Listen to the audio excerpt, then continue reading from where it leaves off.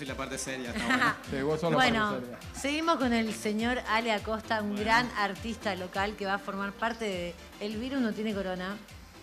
Me contaron que el señor Baglietto cayó a tu casa, ¿puede ser? Así es, sí, sí, sí, sí. En A el ver, contexto Juan de una Carlos obra que habíamos hecho con Javier Lucas Toledo. Nada más y Sí, nada menos. más y nada menos. Es el gran productor de Así esta es. obra. Había compuesto la música para una obra de él y Baglietto la escuchó y cayó en mi casa. Como si Sí, nada. cayó así en mi casa.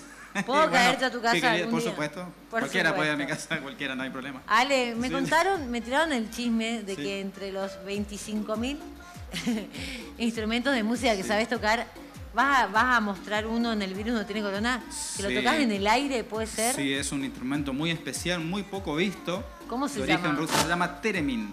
Teremin. Sí, fue inventado en 1919, tiene 100 años. Mirá Es vos. ¿Cuántas personas electrónico. tocan en el mundo ese instrumento? 5, 6.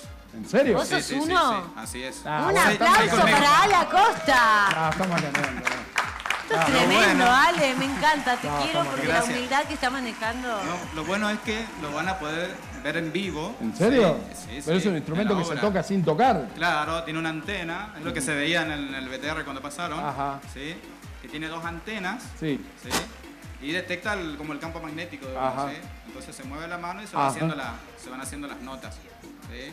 Con el campo electromagnético. ¿Dónde aprendiste esto, Ale? Y YouTube es capísimo. No, bueno, pará. ¿En serio? Gran maestro de muchos, Sí, ¿eh? sí, sí, sí. Lo había pedido, lo había pedido al instrumento, tenía la idea y, y bueno, me lo practiqué mentalmente y cuando llegó el instrumento ya lo sabía tocar. ¿Qué vamos a hacer en el virus no tiene corona? Te- vas Voy a tocar tocar ese instrumento en Ajá, vivo, bien. sí, para que la gente lo conozca. Muy bien. Instrumento una- ruso que hay solo. ¿Cuántas personas en el mundo? Y cinco, seis. Cinco o seis personas en el sí, mundo sí. que El uno está en Chaco. instrumento y lo tenemos Si lo quieren escucharlo, tienen que viajar a Rusia. Muy Ir a bien. ver la muy bien. paso. Muy de la patria bien. Bueno, muchas gracias, Ale, por estar aquí. Eh, gracias, eh.